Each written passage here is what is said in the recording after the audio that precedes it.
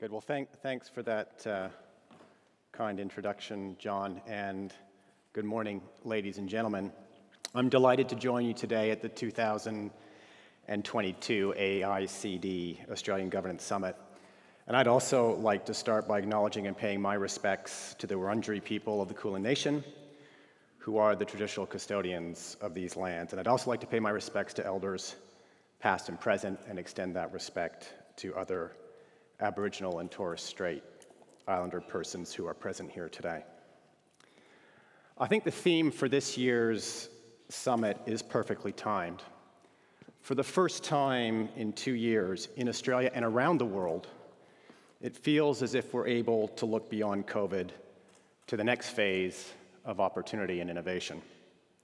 There is no question that the pandemic has seen the acceleration of societal changes which has been occurring since the global financial crisis.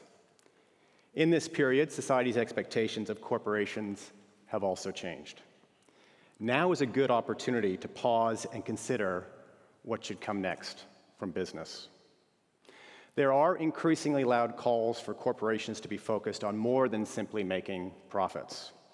And through the pandemic, we have seen many corporations live up to these expectations developing vaccines at record speed and cost, providing safe operating environments for their employees, and establishing robust supply chains in support of the communities in which they operate. Now, some are calling this a revolution of sorts, a move away from the shareholder primacy view of corporates that has shaped organizations for generations to a focus on stakeholder capitalism. The characterization of these expectations as ESG may be new. However, from my perspective, the underlying importance of these forces to corporations is not. I mean, it's sometimes asserted that global capitalism and a focus on stakeholder interests are somehow inconsistent. This is simply not the case. It's long been clear that understanding the expectation of all your stakeholders and your business's impact on them is core to running a successful business. However, what is new is the breadth, diversity, and urgency of the voices. The call for organizations to be more accountable is not coming from one stakeholder, select sector, or group, but rather from all corners. The speed and connectivity of these interests via social media only amplifies the noise and complexity. Where in the past, the expectations of governments, communities, and activists may have stood apart from those of shareholders, now, shareholders are some of the loudest voices demanding change. This growth in expectations is without a doubt challenging for directors. And the challenge for boards and management teams is to identify the opportunities in this ever changing environment in order to create long term value. The next opportunities, like the theme of this year's summit, exists where boards with foresight and discipline understand the value drivers of their organization and their industry, the expectations of their key stakeholders, and where these intersect. Now, at, at BHP, we work hard to do this, with our actions grounded in our purpose to bring people and resources together to build a better world. And throughout our history, we have recognized we must work with many stakeholders to make a positive contribution to the environment and society. We have not always got it right, and there are many challenges along the way. However, working with our stakeholders is consistent with our values, a vital part of our risk management strategy, and a foundation of good business, and yes, shareholder value creation. In recent years, we've moved to, moved to codify, enhance, and embed our approach to considering societal implications of our decisions, and we call it social value. Now, social value is the extension of the traditional concept of social license to focus on creating tangible value at our local operations and communities, but also through to a global perspective and our impact on society as a whole. We also believe this is consistent with the long term interests of our shareholders, as without the support of communities and other stakeholders, BHP cannot succeed. It's this integration of social value considerations across the organization that we believe will deliver outperformance and lead to competitive, sustainable returns over the long term. This is the opportunity in ESG. But this doesn't mean that every societal issue is one that a board must grapple with. To the contrary, the challenge for boards today is to identify the key issues that truly matter to their company, what is critical to their business and their value creation. Now, for BHP, some prominent examples of these include climate, cultural heritage, and diversity and inclusion. And I'd like to expand on each of these a little further. First, to climate change, which is undoubtedly at the center of ESG discussions for many corporations. For BHP, the world's shift towards a decarbonized global economy means demand for commodities that support the transition will increase. Now, this is why BHP is shifting towards future facing commodities like copper and nickel for electrification and battery production, iron ore and metallurgical coal for steel production, and potash to help feed the world's growing population. In 2020, we undertook scenario analysis which looked at four different potential climate scenarios, including a Paris aligned 1.5 degree scenario. Now, this analysis demonstrated that the more action the world takes to limit climate change, the more valuable it will be for BHP and its shareholders. And this means that our strategic goals are aligned with our climate goals. But it's not enough to simply produce the commodities the world needs. The world rightly demands that the way we produce these commodities must also align with the world's climate goals. Now, BHP has been taking action on climate change for many years, and we've been a leader in climate disclosure. However, stakeholder expectations regarding climate change are accelerating rapidly. The demands for new information, for new targets, for capital plans have increased considerably over recent years. And there's questions coming from all stakeholders. You know, when will your operations have net zero emissions? How do specific commodities fit into the decarbonized world? How much is this climate transition going to cost BHP? What are the returns from that investment? And how are we working with our partners to decarbonize our supply chain? In 2021, we saw the opportunity to take the next step on climate disclosure and became the first company in Australia to put our climate change strategy to a vote at our AGM. We believe it was important that all of our shareholders had the opportunity to engage with us on climate strategy and actions, and the advisory Say on Climate vote provided an excellent forum for discussion and feedback on our plan. However, the process was not without its challenges. First, while the science on climate change has long been settled, the solutions are not. Every stakeholder has a different view on what should be done. Now, many saw the plan for what it was a statement of the climate impact of our business and our plans to align with the Paris Accord.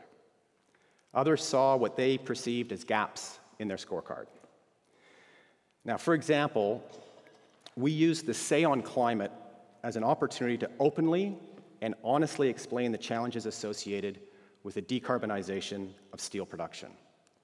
The world will require more steel to build the necessary infrastructure to decarbonize the global economy.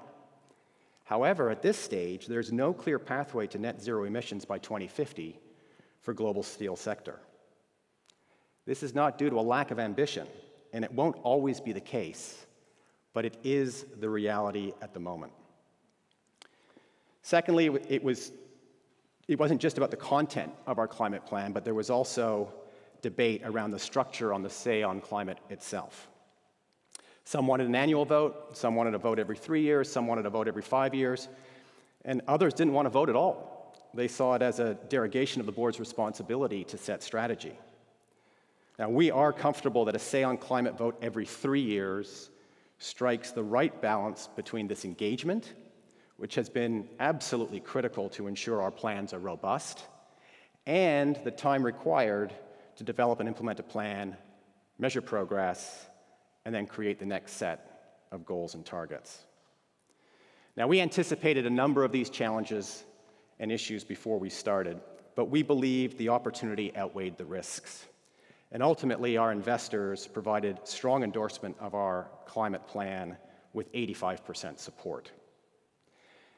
And what's great is we now have clarity that comes from a plan that has been tested and debated with our shareholders, which we can execute against, and we can be measured in terms of our performance.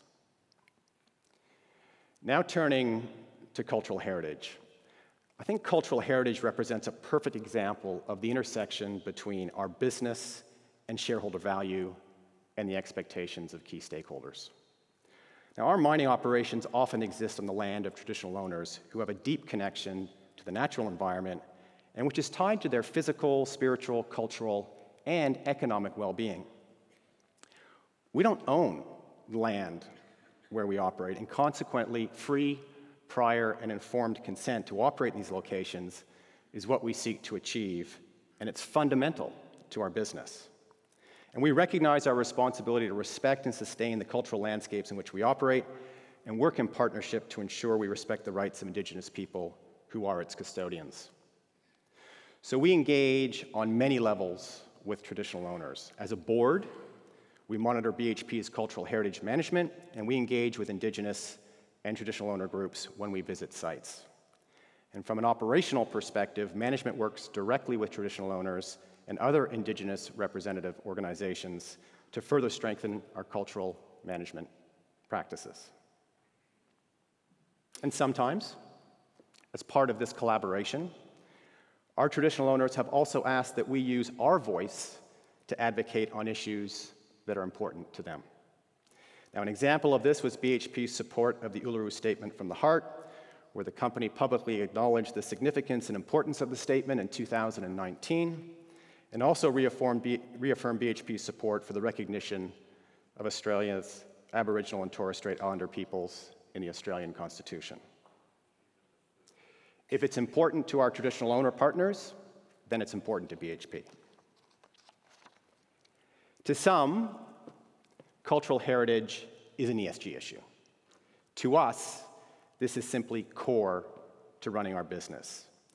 Mines operate for decades, and we won't be successful if we don't continue to value the opportunity that is presented in honest, collaborative relationships with our most long term proximate partners. Finally, diversity and inclusion and workplace culture. Like many ESG issues, diversity and inclusion and workplace culture reflect deep societal issues. Bullying and harassment and a lack of diversity are not confined to the mining and resources industry, but unfortunately, they are too common within it. In a sense, the issues are obvious. Opportunities for employment should be equal, and everyone should be safe at work. But there's more. Our data shows that an inclusive and diverse workforce is safer, it's more engaged, and it's more productive. All critical criteria for running a mine site and for the creation of shareholder value.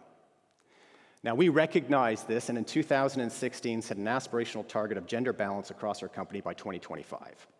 And since we set our goal, we've increased female representation across the business by more than two thirds it now stands at over 30%. In the mining sector, there's another opportunity. A safe and inclusive workforce underpins our ability to attract the best employees and to retain them over the long term, opening up a broader pool of candidates for our business, which is vital in the war for talent. However, gender diversity is only part of the picture. Only with a workplace culture that is inclusive and free of any form of harassment will we truly meet our potential. We know unacceptable behavior still occurs in all workplaces, including BHP, and it shouldn't. We've been focused on addressing all forms of harassment, including sexual harassment, racial discrimination, and bullying for some time, on many levels, but we have more work to do. Now, our progress on gender diversity gives us hope and shows us what can be achieved. And the challenge for directors is to work with management to ensure ambition is matched by real progress. Now, what I hope I've illustrated through these examples in climate change, cultural heritage, and diversity and inclusion is that ESG is not about insignificant activities on the sideline of your business or about simply reacting to the loudest voices. These issues lie at the core of business and the enduring creation of shareholder value. Now, each business will have different areas of focus. However, as I reflect, there are some overarching aspects that are applicable to all directors navigating the rise of ESG. The reality of these ESG issues is they reflect the intersection of challenging societal issues with business. And it isn't just business that's struggling for the answers. As I said at the outset, the number of competing voices and opinions is striking, and directors must be able to identify the issues that are core to their business. They must be able to consult and engage fully and synthesize the competing views and interests and they must work together with their management teams to fully unlock the opportunities. Now, if I can just circle back to the beginning of my presentation, there's no doubt our world has changed, and it comes with a level of complexity that we haven't seen before. Not only are we seeing a shifting geopolitical landscape, digital disruption, cybersecurity, and the direct challenges of the pandemic recovery, but the calls for organizations to contribute to broad social issues. And demands from a range of stakeholders seem louder and more conflicting than ever. In responding to these pressures, it's important to grasp the opportunity within ESG. Companies that look into the future and see the potential of the new world will be rewarded with greater resilience into the future and deliver long term shareholder value. Thank you.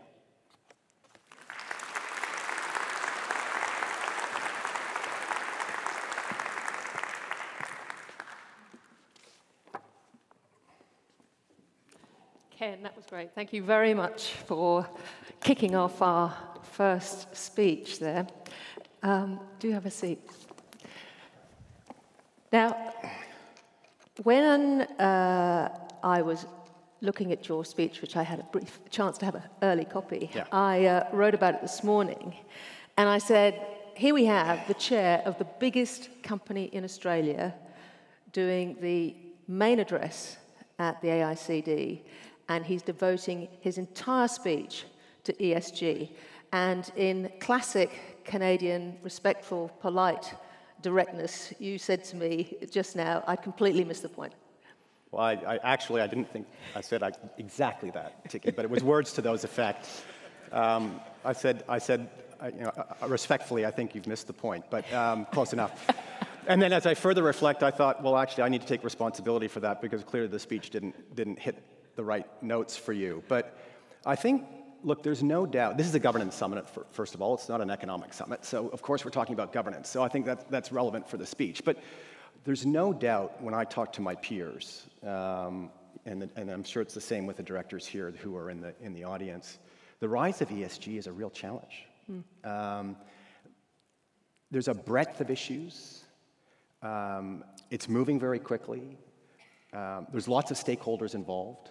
I think the biggest change from my perspective, you know, I've been, I was a CEO for 10 years, I've been a chair now for six.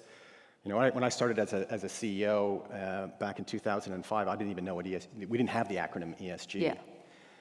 Yet. And, and when we sat at the, you know, had investor meetings and we sat around the table, we didn't talk about those issues. And then sort of five years later, there was this individual who would show up called the ESG manager, but they weren't allowed to sit at the big table. They had to sit at the back. They couldn't ask any questions. They were taking notes.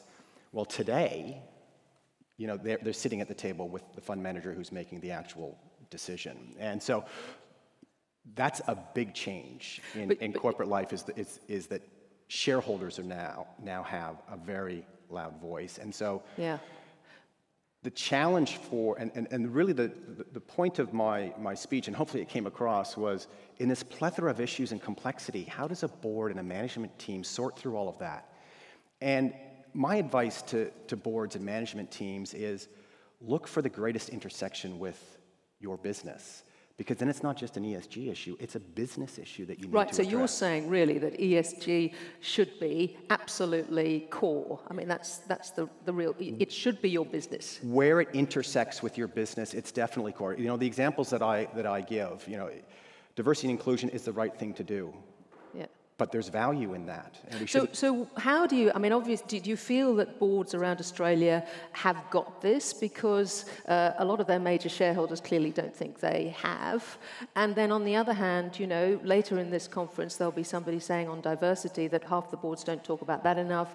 There'll be somebody else saying, well, perhaps we need to think about, you know, boards having a, a digital board member, a real brain. Um, we need more conversation about that. I mean, what are we going to do? Just have longer board meetings, more board meetings? So how, how on earth do you cope on a board? Yeah, well, there's, there's two dimensions to that, which is, I think, you know, how do you make sure your board's fit for purpose? And the other dimension is how do you really tackle these important ESG uh, issues with your key stakeholders and, and importantly, shareholders? I think the, the Climate Transition Action Plan that we took to our shareholders for a vote was a really good example of how we just decided to get off the back foot and get on the front foot and, and really engage you know, in all in fairness to shareholders, you know, they're an inch inch deep and a mile wide across a whole bunch of sectors, and and you know they don't necessarily understand your business, certainly not as well as as you do or your management team does, and so we saw this as a really important opportunity to get our plan out there, because it was going to a vote, you get their attention, and to spend, you know. Mike and I separately, but collectively, did 40 shareholder engagement meetings. Some of those were, you know, uh, one-on-ones, and some of those were uh, group meetings, but we did 40 meetings into heading into the, uh, the vote in order to explain our plans to shareholders. And we got to a level of understanding and clarity, and I, I gave the example around uh, steel manufacturing and the supply chain and the challenges around all of that.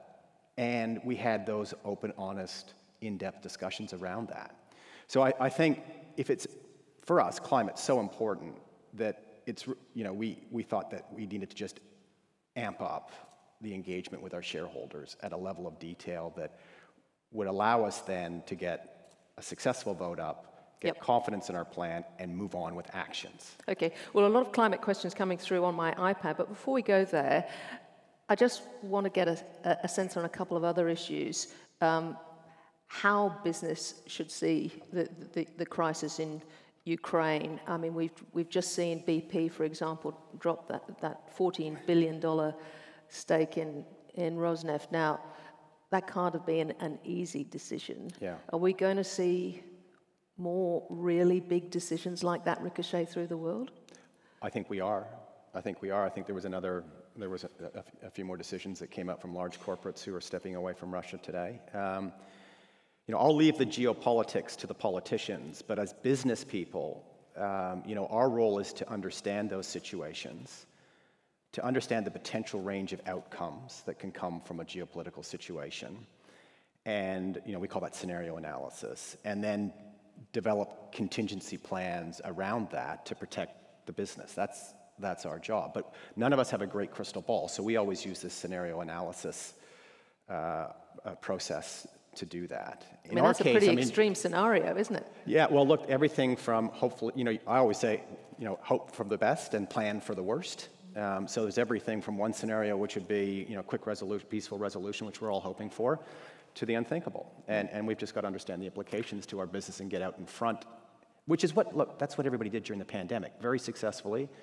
You know, I'm sure all the board members around the table here thought through the implications of the pandemic to them, got in front of the issues, and but, but, but, if we pull this down, say, to China, obviously, uh, I mean, Australia maintains this incredibly pragmatic relationship with China on, on iron ore exports, coal exports.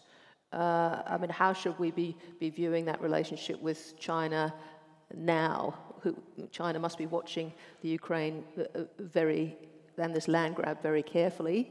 Um, has anything changed? Well, I, I put it in perspective, you know, Europe for us is less than 2%. I think it's a billion dollars of sales out of a $60 billion corporation. So, you know, it's, it's a small piece. China, different story. It's a very important part of our business. So obviously we've done all the scenario analysis around the, the geopolitical implications there.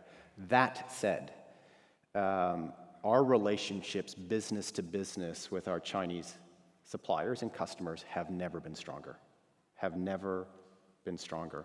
And that's not just my perception of, or our team's perception. You know, there's hard data around that. We just finished our latest Net Promoter Score uh, exercise, and we've had the highest ratings um, from our Asian customers than we've ever had. uh, you know, the value for the relationships, the value around the products, the value around the service um, has, it has never been higher. And, um, and so that, you know, that gives us good confidence. Um, and, and, look, I think. But do you explore a, other markets? A, in, in, in, markets in, I mean, in, in, this, in a massively downside extreme scenario? Is of course. it possible for, for big mining in Australia to pivot? Yeah, well, if we just you know, just to finish up on that, you know, there is this mutual dependency mm. between Australia and China. Um, so we've got these great relationships on the ground today.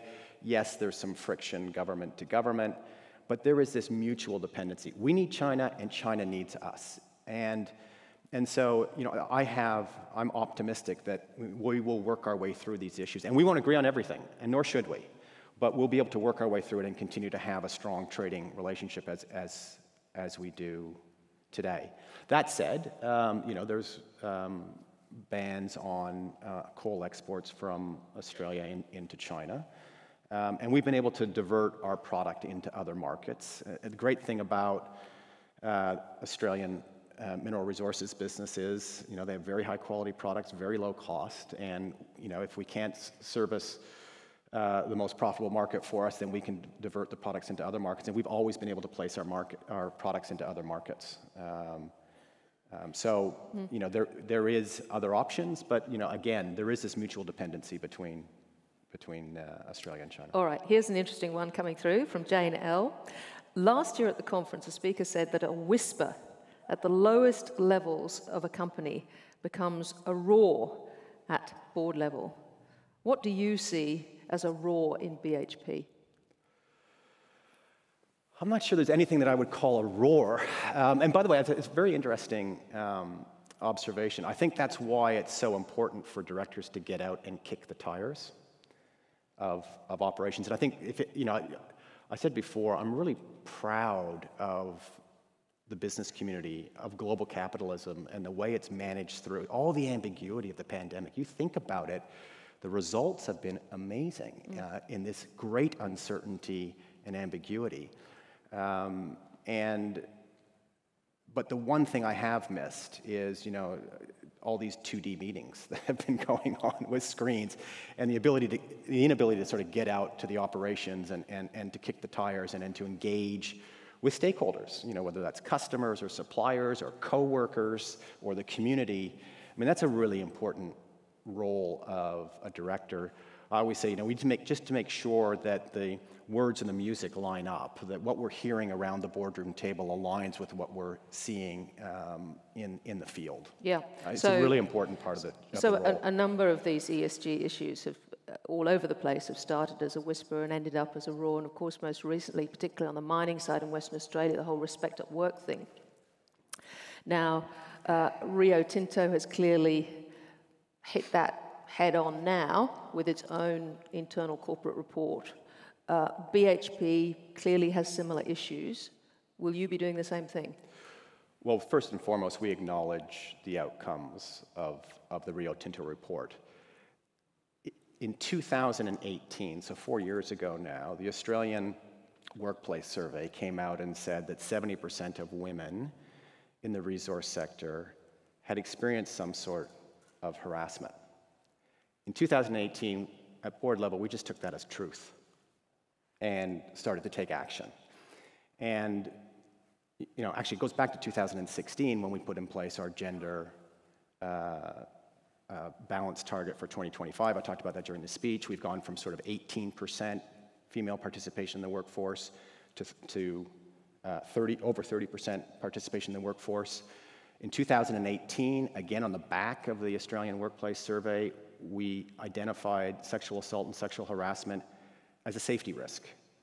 And we built it into our safety program. So now it gets exactly the same sort of data collection, rigor, follow up, and process that any safety issue would uh, within our company. We also launched a respectful behaviors program in 2018 uh, that goes company wide and gives leaders toolkits in order to identify um, you know, so, so how are you going to measure all this? I mean, obviously the answer is I'm not getting a clear yes. You're going to do. Well, I haven't finished my answer. Okay. So, um, And we have a program in place today with a number of actions driven out of the, um, out of the uh, office of the CEO, so at the very highest level, working across sexual assault and sexual harassment issues. We're deploying $300 million of capital into our uh, work camps in order to make them safer for women.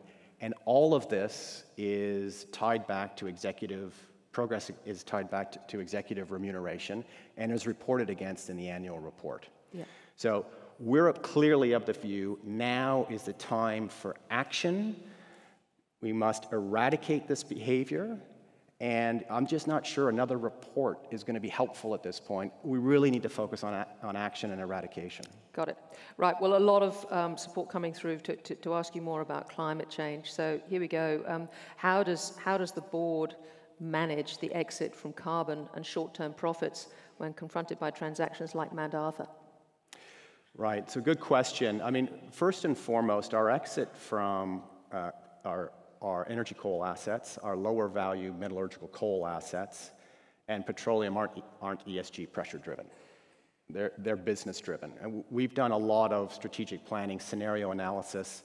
We look out decades in our strategic planning process. And because nobody's got a good crystal ball, we use scenario analysis. So we typically use three or four different scenarios with different sort of bookended outcomes. And as I said in the speech, there's no doubt decarbonization is going to happen. It's a question of pace. But in all scenarios, the more the world decarbonizes, the more valuable BHP becomes. And there are different commodities in our portfolio that be, are more valuable. Um, and that's why we have this great focus on future facing commodities copper, nickel, yes, steel, including metallurgical coal and iron ore, uh, because it's needed to make this transition. Um, you know, potash, these are all really important commodities as we look forward 10, 20, 30 years. Now, the reality is that energy coal and, and petroleum didn't perform as well in this scenario analysis. And when you look at the, the state of finance today, we now look at each of our commodities with a very specific cost of capital, and the cost of capital is going up across uh, fossil fuels. Yeah. So that, what that means is, is that you know, as you invest in them, you need to get better returns, and they become less competitive against the other alternatives that so we have in our portfolio. So we've got another question here from Peter Bridgewater. Uh, to what extent does BHP see nature-based solutions crossing many ESG issues? It's in the mix, I guess, is the way that I would the way that I would I would answer that. I mean, uh, biodiversity, for example, is another. We, I didn't talk about it in the speech, but it's another uh, key uh, area that we're focused on because it intersects with our business. Yeah, yeah, and things like um, carbon offsets. And can you see a, a big market developing down here? Yes. Uh, uh, look, first and foremost, we're very focused on operational reduction of emissions. That's got to be the focus. And but the reality is there are hard to abate emissions. You know, there are fugitive emissions from some of our mining operations, for example. Steel, there are huge challenges in steel. So there may be some areas, we have a, we have a goal, we have an ambition of, of net zero by 2050, um, and we're of the view that to get there, given what we know today, um, that offsets will have to play some part of that. But we want to try to minimize the use of offsets. And then I think it's really critical that we're, that we're clear around quality of offsets. And I think there's got to be a lot of focus put around quality of offsets. And, I, and, and we're of the view we want to control and manage and be responsible for the offsets as much as, as, much as possible. Ken, for that exact reason. Uh, I'm sure there are people out there for whom this is happening right now, but if you were approached to chair a publicly listed board, uh, what are the sort of things that you should be asking yourself before you say yes? Ooh, that's a good question. Um, look, I guess everyone's different and every company situation is different. Um, I guess the, the one piece of advice I would give is to take a step back, honestly assess where the company is, what the challenges it has going forward, what's going to be required from the chair, and then to take a look at your own experience, skill set, resilience, um, and, and honestly assess if, if you're the right person, you know, if you're fit for purpose for the role. Um, I think we all get a little blinded by ambition every once in a while, and, and, I think you have to put that aside and say, because at the end of the day, you want to be successful, you want to be fit for purpose, and I think just doing that honest assessment um, making sure that um, you understand the challenges and that you've got the skill set to, um, to do the job. And presumably you take a pretty good look at the CEO. Oh, without a doubt. I mean, there's a whole bunch of due diligence you should do before you take the job. Um, and uh, look, I think all directors would recognize picking the CEO is the most important job that um, You've done quite a, a bit of work have. on that front. I have. Yeah, I, I, I, wrote about that actually in the, in in the Company Director ma magazine. I mean, I'm a, I'm a, a firm believer. It's, to be honest, you know, in the vernacular, if you get the right CEO, everything's sweet, you know. Uh, if you get the wrong CEO, it's not. Um, so, and, and look, boards have to be realistic about the impact that they can have. We're part-timers. The CEO is not. Uh, we create, we set the tone, but the, the CEO and the management team provide the leverage. Mm. They're in the business every day. They're providing the role modeling, you know, behaviors. Um, and so choosing the right CEO is critical. And, and you know, it, it's not rocket science, but it requires diligence. You know, and, and you know, I advocate that, advocate that you, you need to understand where the business is going. You need to understand the skill sets required out of the CEO. You then need to look inside the organization for potential successors. You need to map those successors against that profile, identify gaps, and then your job, working with the CEO, is to close the gap of all the internal potential successors mm. um, to get them ready for the job. And you know that's a multi-year journey. You know, it's not something. And I think some boards leave it too late. Yeah. You know, I, the time to start CEO succession, as we're doing at BHP, is the day you appoint the new CEO. Yeah. You should have, you should be thinking about the next one. And then underpinning all that, obviously, is, is the whole, um, the, the, the importance of culture right throughout the organization. So we got another very popular question here from Nikki Bowman. In an organization of the scale of BHP, I mean, you are the biggest company in Australia now, daylight behind you. How does the board assess whether the culture on the ground is reflective of the objectives set by the board, particularly in relation to ESG? Yeah, so we uh, across multiple dimensions. But again, your best defense is getting the right CEO and the right jo- and the right uh, getting the right, right CEO with the right values, and who clearly understands the expectations of, of the board in terms of uh, uh, behavior. So that's that's absolutely should be should be job one. And then you know, as as directors, we sort of set tone. Uh, our job is to help make management in the company successful. We've got a number of risk management practices, but we need to verify. We always need to verify. You need to make sure that the words and the music line up around the boardroom table. Um, and so, you know, having those opportunities, whether it be through employee perception surveys, whether it's when you're out in the field meeting with, with uh, you know, coworkers directly, um, you know, it extends beyond the organization, you know, talking to communities, talking to suppliers, talking to customers, all of this should give you a good sense of, of culture. And creating an environment, part of this tone setting is creating an environment where it's safe to speak up and making sure that you've got the mechanisms that allow those, as somebody said earlier, these voices to, to come up, you know, whether it, you know, whistleblower processes that typically run through the risk and audit committee and give visibility to the board and, and, and the voices at board level. So as a chairman, uh, what would you like to hear uh, m- more of, and what would you like to hear less of uh, from independent directors? Well, the day, it's interesting, you know, they get that question a lot. I think the days of uh, being a non executive director as being a nice way to transition from executive life to full time retirement are gone. Everybody's laughing. They know that's true. They're gone. It's a real job. Um, and and because sometimes outside, we in the media, we're quite cynical about that. No, it's a real job, um, and and it's getting harder. It's not getting easier. And I think, uh, again, my advice to boards is look forward to the challenges that that you see on the runway in front of you, and constantly, just like CEO succession, constantly keep your skills matrix under review, mm.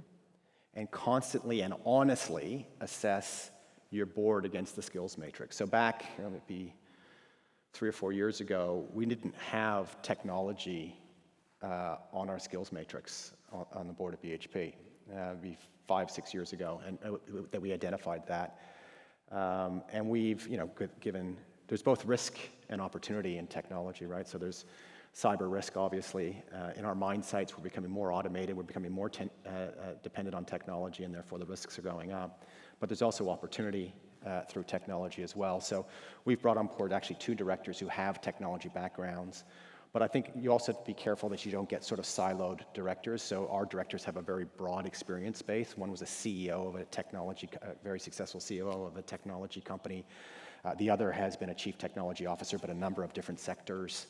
Um, because you want to make sure that all your directors sort of have the overarching acumen to sit on the board and then bring, if they, you know, you need to make sure that you're able to complement and fill out your entire skills matrix. So they need to also bring uh, specific And we've seen this incredible amount of M&A activity out there across Australia, both, both in terms of companies going out and, and acquiring, but also, I mean, some companies even taken off the, the, boards altogether. So, you know, as a board, you're looking at defence. Now, uh, how does that change how a board operates, how a board think, given that, you know, we often hear this statistic banded around 75% of takeovers don't actually work. Yeah. You know, uh, how, how does that um, focus the mind, I suppose? Well, I guess, um, look, we'd all agree that a growing company is a healthy company. And, and so we're all uh, pursuing growth, but it's got, it can't be growth for growth's sake. It's got to be growth for shareholder returns.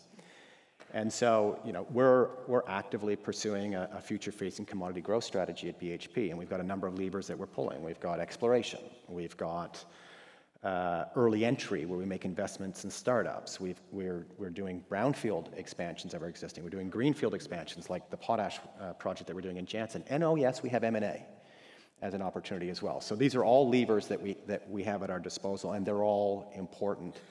I think the challenge in the current environment is asset values are really high. So the starting point, you know, you've got to bring something unique and special to a, an acquisition in order to make the math work and get returns for shareholders. So that's sort of on the growth side. I think you also alluded to the defense side.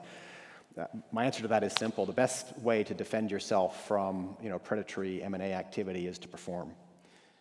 Uh, you know, if you're performing, then you're going to be expensive, and if you're expensive, then it's hard to make the math work. Mm. So uh, you can defend yourself more readily. If mm. you start to underperform, then you open yourself up too. So what is occupying Ken MacKenzie's mind mostly now? I mean, obviously you've successfully done the, the dual listing. You and uh, um, Mike Henry have had lots of close conversations with some of your major shareholders also over the other side of the world, all done in the, in the pandemic. But, but what's occupying your, your time now? Is it the bullying and harassment stuff? I mean, that's, that must be certainly a lot of focus from, from the media. Yeah, so, you know, first of all, going to the positive side of the, the agenda, you know, there, there's no doubt that we're focused on, we've done a lot of work, as you mentioned, to reposition our portfolio. We're, we're very happy with the way that that's uh, unfolded. I think everyone's familiar with the Woodside transaction. I mean, we, again, we didn't exit petroleum for ESG reasons. We exited because we didn't see it competing for capital against our other options in the portfolio. But we had arguably a subscale petroleum business. Woodside arguably had a subscale petroleum business. There will be challenges in the energy transition. These two businesses together are a top 10 independent oil company with a strong balance sheet. But you're doubling down on and, fossil, really. And a, and, a, and a plethora of options, and we're spinning that out to our shareholders. So we're going to, you know, BHP shareholders will own 48% of the combined entity, and they can make their own decisions on whether they want to continue to par- participate in that, in that sector, in that sector or not. Um, so we've done a lot of work around the portfolio. We're very happy with where the, where the portfolio sits um, today, and, our, and as I mentioned, we've got these five levers that we're actively pursuing around growth. So that's the core agenda. We, we, you know, obviously, uh, capability, safety, capability, and culture are always front of mind for us. You know, I've already talked in, in depth around the sort of activities that we've got on that in, in, in place. Mm. Again, it's for management to execute on and for the and the board to monitor and challenge yep. the progress against those activities. And then again, there's so much complexity in, in, what's called ESG. There's so much complexity there. Boards just have to find a way to cut through the complexity and focus on the issues that matter. And again, repeating myself, and this is hopefully the central theme of the speech. Yeah, it wasn't about yeah. ESG, it was about how to make ESG an yeah. opportunity in business. But um, is the intersection of your business with ESG issues. Focus where the intersection is strongest. Right. One last quick one, uh, just back on Ukraine um, from Jennifer Wilson. BHP's actions uh, are admirable. But given the importance of China to the company, how likely is something similar to this should China move aggressively against Taiwan? Well, I'm not going to respond to hypotheticals. I, you know, I think in the case of Ukraine and Russia, we literally we don't have any supply to or from either of those countries. So we're, we're literally, uh, you know, on, on, on the sidelines there from a business perspective. Um, you know, I'm an optimist, uh, Ticky. I, I, think the reality is there is this mutual dependency between um, China and Australia. We need them, they need us. The relationship, although strained at the at the senior political level is super strong at the grassroots level in terms of our uh, business and business and trading relationships. And I'm optimistic. We won't agree on everything, uh, but I'm optimistic that um, because of this mutual dependency, we'll work our way through to to, to a, a good outcome. Ken MacKenzie, you are the big Australian once more, quite literally. Uh, thank you so much for your spe- speech, and thank you especially for uh, sharing the time with me and our audience. Ken MacKenzie, ladies and gentlemen.